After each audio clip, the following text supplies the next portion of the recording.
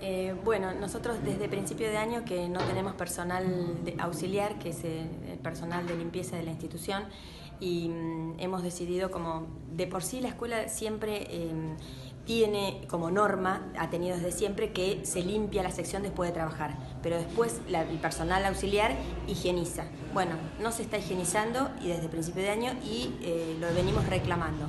Hoy por hoy, cuando tenemos una docente que sufrió alergias por un roedor y le tuvieron llamar a MEC y le tuvieron que poner inyecciones de decadrón y antihistamínicos, dijimos, bueno, este es el punto final.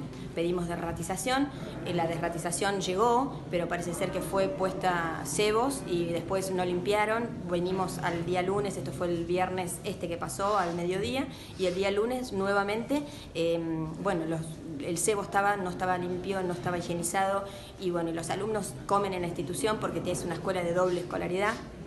Dejan todas las mochilas tiradas, uno les pone alcohol en gel en las manos y todo, pero nosotros esta situación ya eh, nos nos, desbordó. ¿Y por qué no hay auxiliares? No hay auxiliares porque esta escuela tiene asignado alrededor de 15 porteros, de los cuales nos bajó una nota al secretario marcando que 5 auxiliares solamente están en ejercicio. El resto están en gremios, eh, tareas pasivas, afectadas a tareas administrativas, afectadas a tareas de, de alumnos de, para títulos.